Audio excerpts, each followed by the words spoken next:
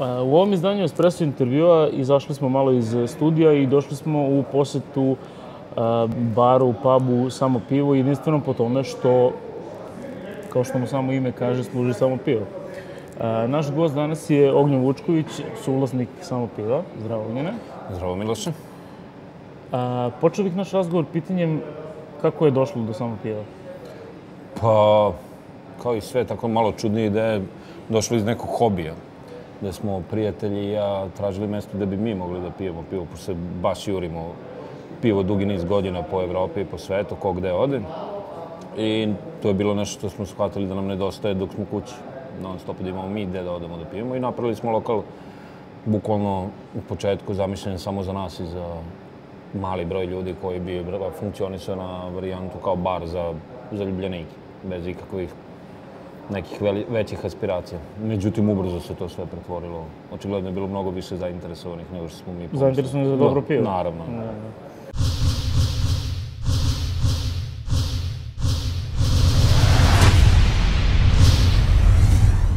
Sada u ovom lokalu imate preko nekih 300 vrsta piva, tako? Varira, i tu je oko 270-280 treba. Da, da, da. E, kako ljudi reaguju na toliko ponudu? Da li uopšte znaju šta je to što im vi nudite? Pa to sve zavisi od čoveka do čoveka. Imamo ljude koji dolaze, da tako kažemo, stalne goste koji se razumeju i koji znaju koji imaju svoj istančan ukus prema kome i biraju piva koje uzimaju.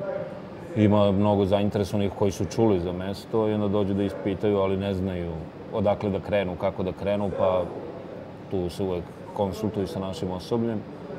I treći su ljudi koji znaju tačno šta dolaze, ali ih ne zanima uopšte broj, pošto dolaze da piju dva, tri piva i to je to. Mm -hmm. A, sad je nekakav trend u svetu, uopšte taj razvoj tog nekog, uslovno rečeno, malog pivarstva kao kontra pivarskoj industriji. Da li samo pivo negde na tom talasu Pa i naravno, naravno, naravno, naravno, pošto većina ovih piva kod nas što se prodaje nisu iz industrijske proizvodnje nego su baš od strane malih pivara, nezavisnih pivara, porodičnih pivara, što kod nas, što iz inostranstva. Drago mi je što je kod nas krenulo sve to mnogo, na mnogo većem nivou u protekle tri godine od kad mi postojimo. Tako da sad već ima preko 10 malih pivara u Srbiji koje se kvalitetno bave proizvodnjom piva. A za početak, pre nego što pređemo na tu priču o, o tom domaćem pivarstvu, neindustrijskom, da uputimo malo naše čitaoce i gledalce šta je to što odlikuje sva ta piva, po čemu se one razlikuju, koji su ti neki pivski pa to... stilovi i kako se oni, kako se oni klasifikuju pa dele? to je sada već manje više ko je zainteresovan, opšte poznata stvar da u svim ovim pivima se koriste samo najbolji sastojci do kojih pivar može da dođe. Znači koriste se naravno ječmeni slad, hmelj, kvasac i i voda, plus raznorazni ostali dodaci, tipa začina, ili ko šta hoće da eksperimentiše, da bi dobio neki drugi ukus. Koristi se više vrsta i slada i, i, i hmelja da bi se dobili različite varijacije ukusa i za različite vrste piva. To je velika razlika u odnosu na industriju koja sad evo po nekim reklamama više ne koriste kukuruz, ali koriste. Tako da imamo tu i razliku u cenama. Ova piva uvek moraju da budu skuplje nego industrijska iz prostog razloga što su kvalitetnije.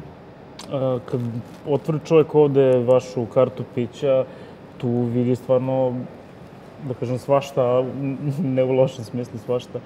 Ovaj, šta su lageri, šta su ejlovi, šta su stautovi, šta su porteri? Pa to je stara, da li, klasična i da li, i da li ljudi, I da li ljudi kad dođe ovde koji ne znaju, da li pitaju, da li se interesuju za to?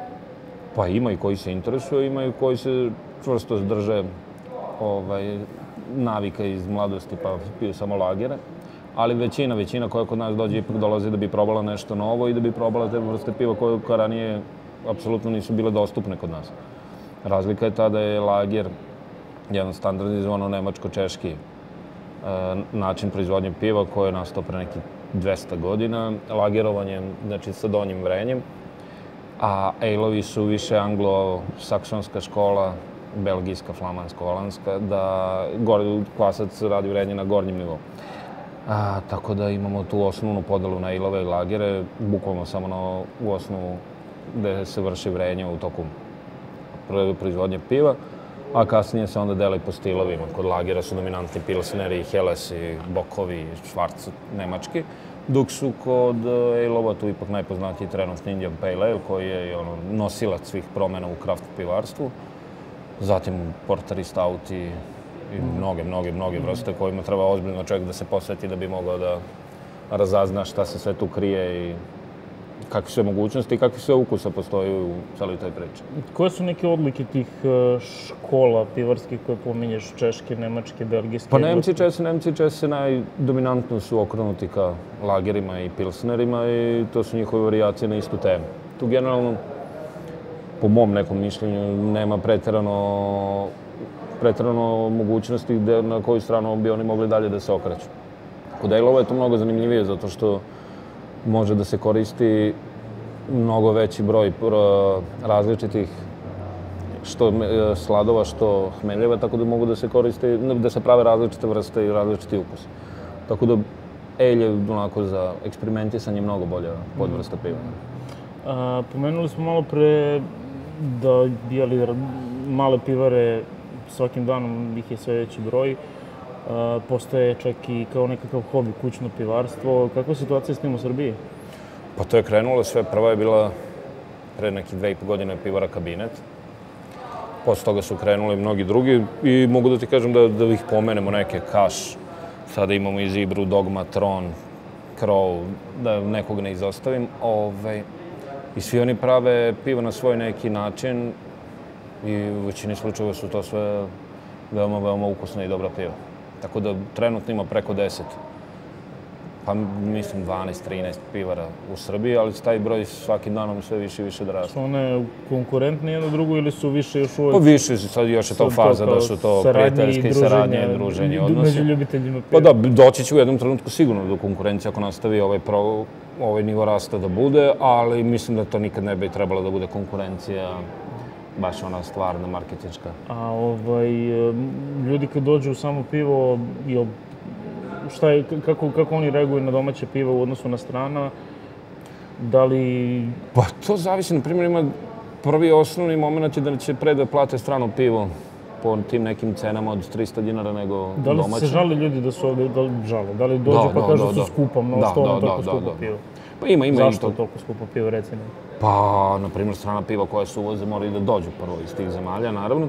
Ali je zanimljivo da su u tim svim zemljama ta piva mnogo skuplja nego kod nas. Mhm. -huh. Ja se bavim isto i uvozom engleskih piva, tako da sva ta piva u Engleskoj po cenama koje možete da popijete u Srbiji nema šanse, bilo gde nađete.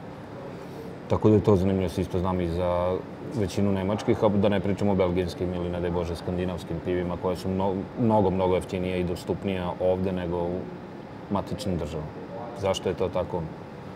Mi nemamo...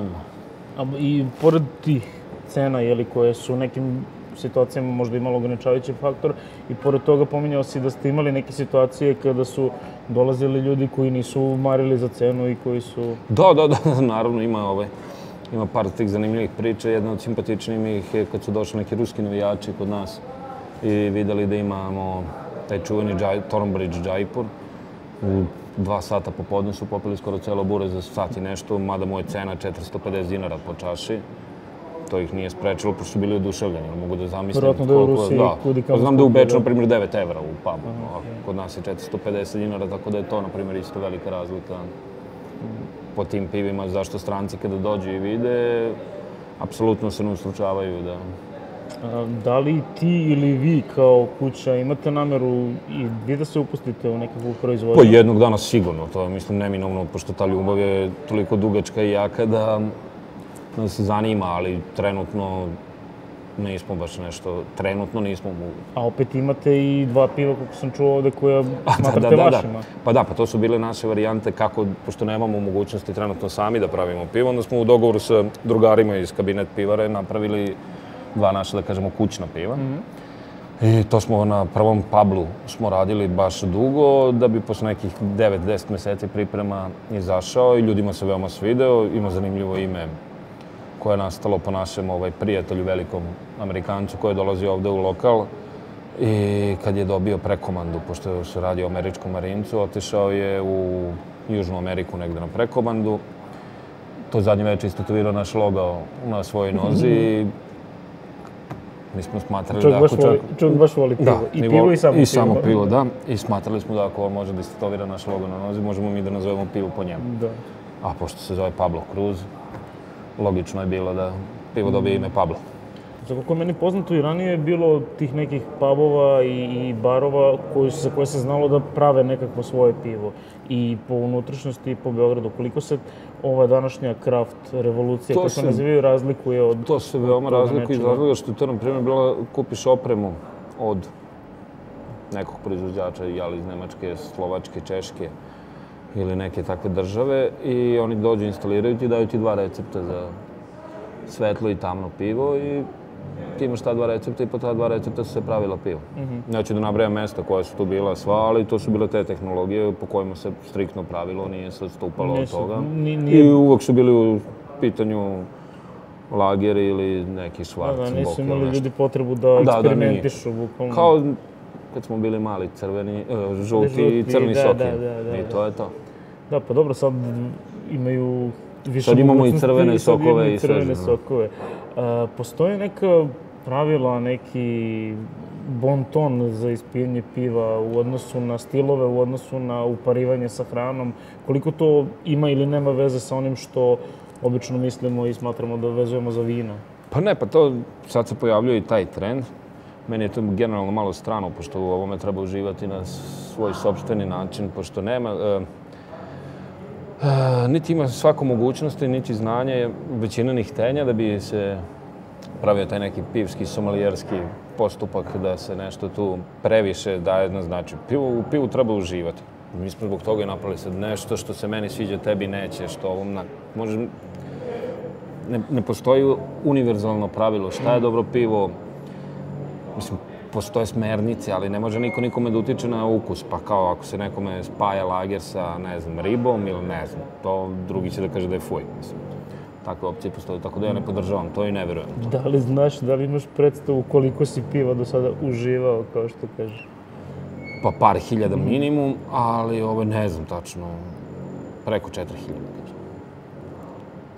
Pa 25 godina Da, da. je ovaj, u opticaju, tako da, da.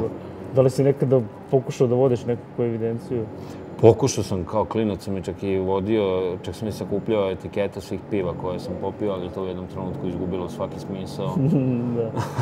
I zbog količine i zbog nemogućnosti da se na nekim putovanjima uopšte dođe do tih etiketa, što zbog toga što se pilo gomila točanog i onda jednostavno izgubio sam ovaj, evidenciju. A kako sad na, na, na pivo generalno, ali i na taj dijapazon širok piva koji se nudi sad, reaguju muškarci, a kako žene. Mi imamo neku percepciju da je pivo više nekako muško piće nego...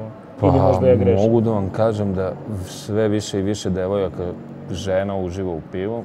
Čak i kad, pošto mi kod nas nema ni TV, pa se ne prate ni sportski događaj. Tim večerima je lokal prepun žena i devojaka koje dolaze da isprobavaju pivo. I uopšte nema, žene se, nekako sam zaključio da u tom početnom prvom susretu sa ovakvim izborom piva da se žene manje libe da probaju nove stvari. Znači, mogu, e, manje svezane nekim tradicionalizmom u glavi od muškaraca, ali naravno sve to opet zavisi od čoveka do čoveka.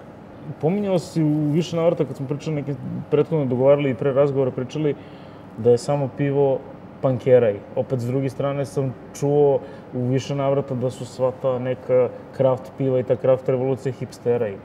Šta je pankeraj, a šta je hipsteraj u, u, u, u celoj ovoj priči? Pa raj, pankeraj, hipsteraj.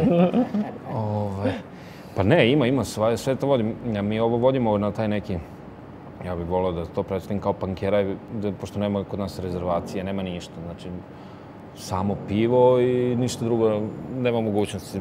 Napravljeno je mesto samo zbog piva i onda nas drugi sadržaj apsolutno ne zanimaju. A ovaj, da, u celom svetu ovo veoma vezano za hipsteraj i za hipstere, pošto su oni uvek skloni, jel te, novim i modernim stvarima, odnosno nečim što bi ih izdvojilo od drugih stvari, tako da da.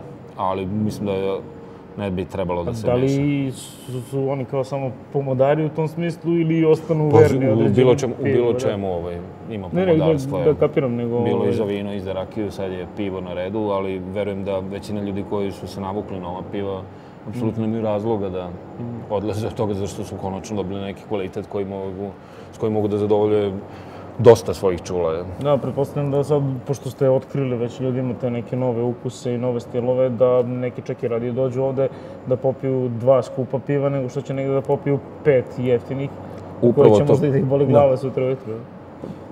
to možda je ovaj, diskutabilno. Ovaj, e, naravno, naravno, kod nas dolaze često i mlađi, mlađe populacije koje nema preterano puno sredstava za izlaske neke preterane ovde, ali dođu ovde da popiju po dva piva i onda izbor im je uvek temeljan da probaju nešto novo i sve da bi mogli kasnije da nadograđuju to svoje. I verna su publika i vraćaju se da bi isprobavali. Dobro, znači vama je primarno jeli, kvalitet i dobro Da, pivo da, više da, nego da, da. cena.